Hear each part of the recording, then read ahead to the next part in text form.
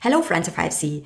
Today, I want to talk to you about the main project I've been working on this year, which is uh, the Data Exchange Cloud Connector for IFC, which has uh, just graduated from the beta and is now officially available on the Autodesk Construction Cloud. In this video, I want to tell you why this is so exciting and how Data Exchange can help you load uh, your IFC files easily into Power BI and create meaningful dashboards. And by the way, this is just one of the many workflows which Data Exchange enables. If you are new to this channel, hi, I'm Leila, a recovering architect and data nerd working at Autodesk. If you haven't heard of Data Exchange yet, uh, it is a new way to work with subsets of data by making it available across tools and services through our connectors. This includes Revit, Tekla Structure, Rhino, Inventor, Power BI, and through the beta program, also other tools like Navisworks or AutoCAD. For example, many data exchange users are creating data exchanges from IFC files and then loading them into Revit instead of linking the whole IFC file. This lets them extract only what they need and the way we store the data in the Revit project is optimized for documentation, scheduling, and of course, coordination. If you want to see more great examples of what others are doing with Data Exchange, please check out our Autodesk University session, which we recorded on site. So let's get started with Data Exchange. Once you upload an IFC file to ACC, you can access the Data Exchange tab on the left, where you will see the filters. If you just upload the IFC file, note that it may take a few minutes to process until the filters are ready. Here you can filter your IFC file based on its structure and the properties. Remember that the data exchange is designed for sharing meaningful subsets of data.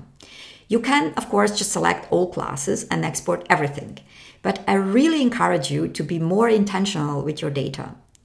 I often see huge IFC files full of just in case data. This is like going to the grocery store without a plan and putting everything into your cart.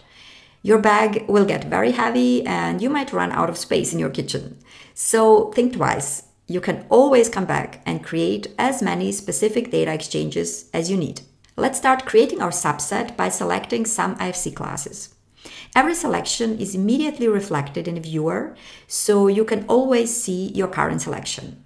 One thing to keep in mind is when selecting the nested classes like IFC curtain wall, all nested elements such as mullions and panels are automatically included as well. So for example, if you select IFC building, everything in your model will be included since IFC building sits at the top of the IFC hierarchy.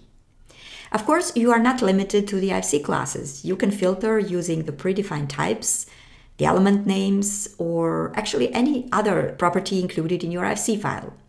If you want to add more filters, simply search for the property you want and add it to your list. Once uh, we have completed our selection, we can click Create Data Exchange. Here we select the folder where the data exchange should be saved, and we can also change the name. The default name will always match the name of the IFC file.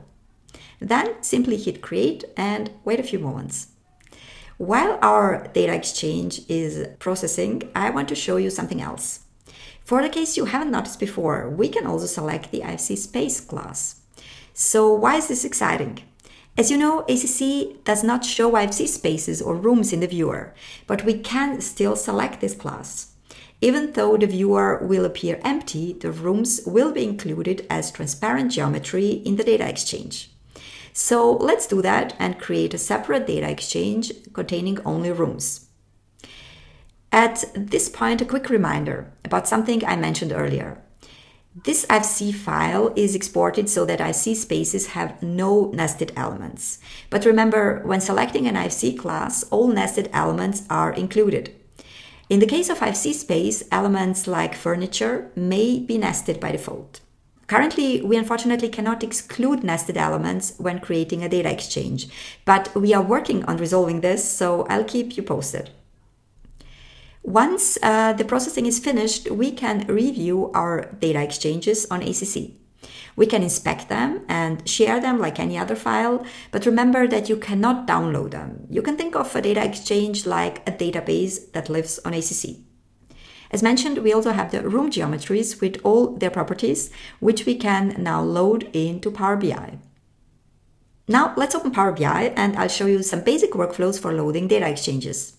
You'll need to install the Autodesk Data Connector for Power BI. And if you haven't done this yet, you can find it in the Autodesk App Store. Once the connector is installed, you'll find it in the list of the available data sources. Select Data Exchange, and if you only have one data exchange, you can also simply paste the URL. Or you can just continue without URL and browse your hubs and projects. This is especially useful if you want to load multiple data exchanges at once. Once loading finishes, the data will appear in the data pane on the right. Before we start, let's add the viewer visual. Click on Get More Visuals, uh, search for Autodesk, and add the viewer. You can use the viewer like any other Power BI visual and place it on your dashboard.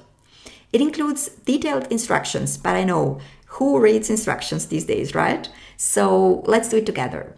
Search for viewer and drag it to the first field. Even if you already see your model now and think, great, I'm done, please continue and add the external element ID to the other two fields. Make sure to pick it from the same source as the viewer if you have multiple data exchanges loaded, like in this case. This step is important because the viewer needs the external element ID to connect with the other visuals, and I'll show you what I mean. Let's add another visual now to show the IFC classes in the model. If I select any class in this visual, the selection will be highlighted in the viewer as well, because we added the external element ID earlier. Now let's add a table and populate it with a few properties. If you're unsure which properties to use, switch to the table view and scroll down. Don't worry about the empty rows at the beginning. These belong to the viewer.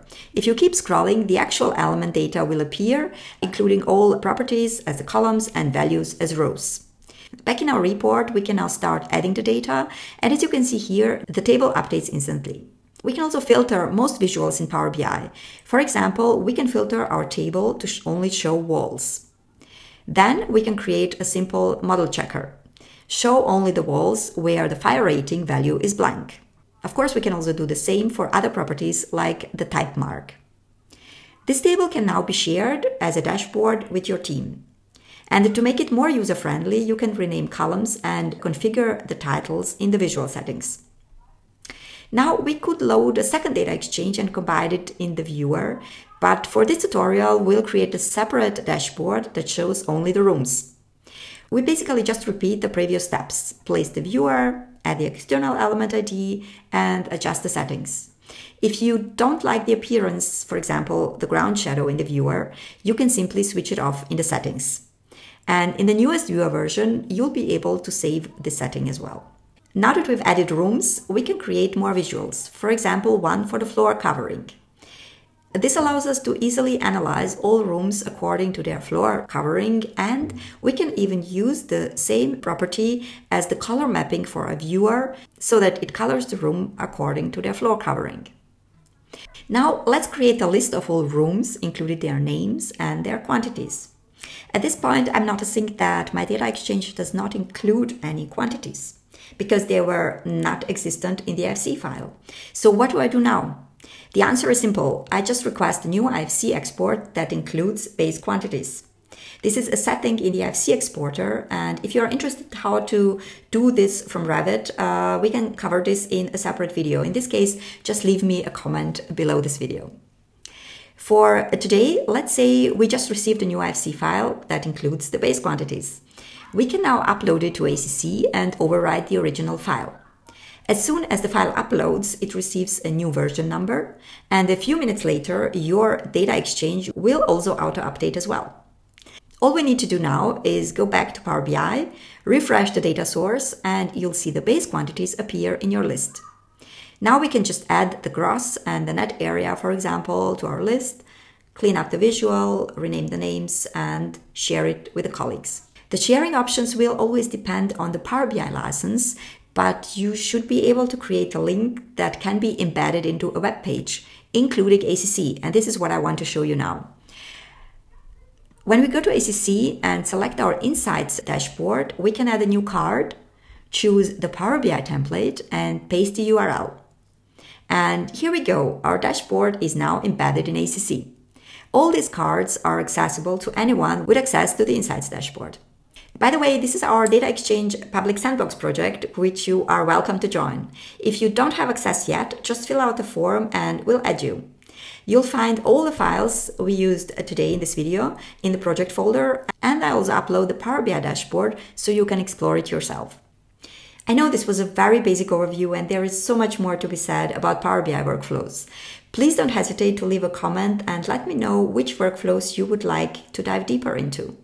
Thanks for watching and see you in the next video.